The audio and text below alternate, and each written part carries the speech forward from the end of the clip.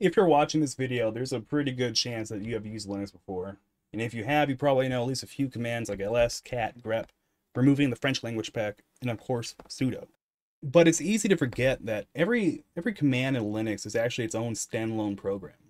And just like any other program, these can have their own vulnerabilities. And sudo is no exception. That brings us to a recently published CVE. This is a critical vulnerability affecting sudo, and the exploit takes advantage of how certain versions of sudo handle the dash R flag, also known as the change root option. This vulnerability has since been patched out in recent updates, but we can still test it out. I won't dive too deep on how this exploit works in the backend. There are plenty of good articles for that already. And if you look on the NIST site, you can go down to this link right here.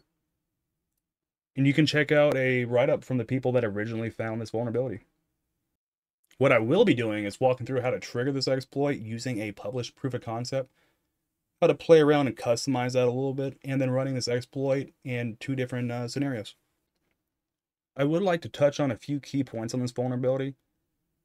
Uh, first off would be the versions affected. NIST says sudo before 1917p1. But if we check out the write-up from the original researchers, we can see that they only list these versions as known to be vulnerable, but they also note that they haven't tested all of them. And they say that any legacy versions of sudo uh, before this version aren't vulnerable anyways because they don't have that dash R flag. Uh, moving on from that, we can see that the base score is 9.3 for the CVE, which means it's critical level. And these metrics on the side here, you see attack vector local. This is a privilege escalation exploit. So an attacker has to have direct access to a system before they can run this. Uh, attack complexity is low, and privileges required is none. That means that any user on a machine can run this exploit.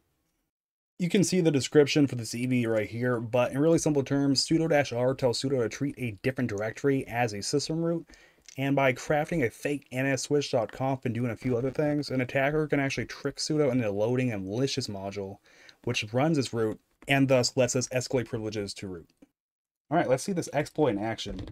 So I'm an unprivileged user on this device, and let me run sudo-l to check what I can run with sudo. And I can't run anything.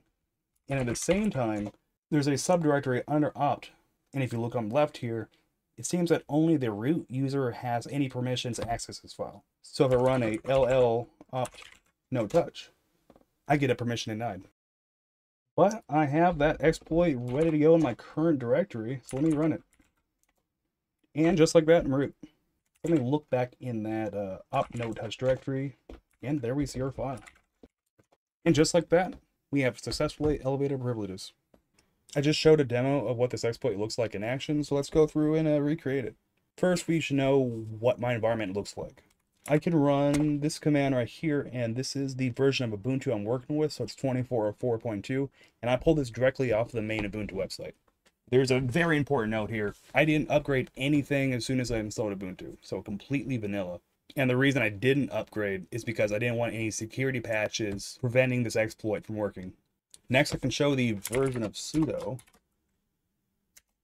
And right here, this is the version that comes by default with Ubuntu. And this also is listed as a vulnerable version in the CVE. Next up, this is the POC that I'm working with here. And it's by Proverbs. The script that actually runs the exploit can be found right here. And I don't want to go line by line through this thing, but some important parts, you can see that's making a C file, and the C file later gets compiled within the same script using GCC. Now that can pose an issue, like say your target machine doesn't have GCC on it. I know GCC is not installed by default on Ubuntu desktop or Ubuntu server, but there is a way to work around that and still use this exploit. You just need to customize it some. And that would involve building out this file and compiling it on a separate system and then transferring that to your target machine. But I'll show that in a later scenario. For now, we're just going to stick to assuming that your target machine has GCC on it. And lastly, I want to take a step back a little bit because I think this is a good learning point. On the back end, in between edits, I actually went through and I upgraded my system. It's the same Ubuntu version, I just upgraded the system with this uh, sudo apt update command. So everything's upgraded. So what would you expect happens if I check my sudo version again? We run sudo-v, and the version hasn't changed. However, if I do that quick little check to see if the exploit works, I see something different now. It actually says that I'm not allowed to use the dash R option with sudo. So if we think the version didn't change, because this is reporting the same thing, well, what happened? Well, one way to check is to check the apt changelog. So I'll run sudo apt changelog sudo. Right here, we can see a comment mentioning a security update directly affecting this CVE that we're trying to exploit. So what this is telling me is that essentially Ubuntu is maintaining their own version of a bunch of different packages and they're just pushing their own updates. And your software will get patched on the back end, even if it's not directly obvious on the front end. And this also points to that just because software on your machine happens to match a version number for a CVE on this website or anything like that, doesn't necessarily mean that you are vulnerable. With that little side tangent on pseudo versions all the way, now I am back. I am in my fresh install of Ubuntu with no upgrades applied. I've cleared my screen and the next step is to install any dependencies. I will copy and paste this command. Now you can type this out or you can check back with that Docker file in the proof of concept and you know cherry pick what you want out of there. So now all of our dependencies are installed and we can use GCC later on. Next, use this command to create our unprivileged user. And then we need to set the password for that user. So it's sudo pass wd and then the username. Next, let's switch over to our new user. And then I'm going to change my directory to the new user's home directory. So cd and home. Now I can go ahead and clear this out. And then I'll head back to Firefox and take a look at that POC. And we need to copy down this entire script. So that's copied. Head back to the terminal and I'll use nano to make a file called exploit.sh. Then I paste the whole file in there. And since we have GCC installed and we have a vulnerable version of sudo, this should work out of the box. So I will exit this. Next I need to change it to executable. So chmod plus x and then exploit.sh. And the very last step is just to run it. And just like that, we're root. So in this scenario, the POC worked out of the box. But like I mentioned earlier, what if the target machine doesn't have GCC? Well, of course, the script's going to fail because it expects that. So now I'll show this other scenario and I'm going to roll this VM back to the, uh, the first snapshot where it's completely vanilla install. And then I'll make that new user as I did earlier. But I won't install any other updates or any other software on the device. Okay, I've rolled back my VM and we can check if GCC is installed.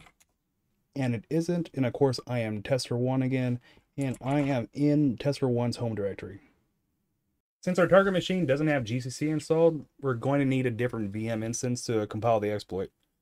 And the original proof of concept script's going to need modifications, so we might as well do that all in one go on Kali while we're at it. Alright, on this screen I have Kali booted up, and I'm going to Firefox to look up the POC from earlier. And first step is going to be to compile this little program. A little bit of code. So copy all that, and then we're going to put this into a file with this name right here. I'll use nano as before. Paste that in there. But before we save it, we need to make some changes.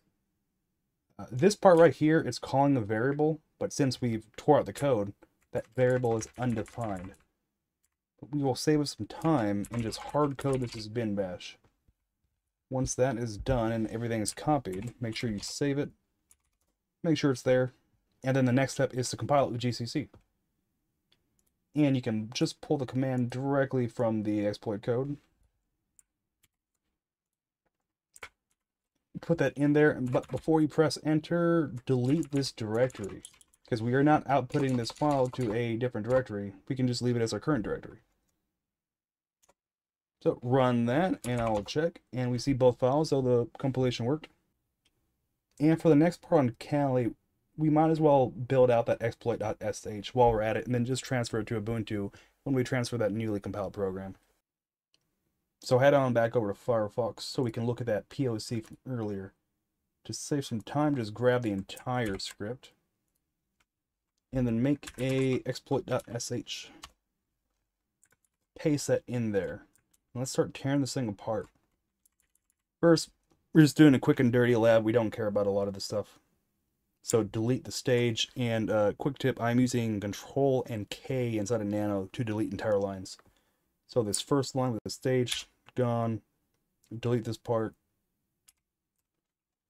We hard-coded bin bash into that C code earlier, so we don't need this if-then statement or any of that. So delete this line. Again, we hard-coded bin bash. We can delete this variable. Earlier, we had already made this file and then compiled it with GCC, so we don't need any of this section making the file. So delete all that. And we don't need the GCC part, but don't delete it yet. We can actually just comment it out. We're going to need to add a line here, and this line is going to move our file that we transfer over to the appropriate directory. Originally, in the script, GCC's output would have put in the right place, but we don't have GCC anymore, so we have to modify it a bit.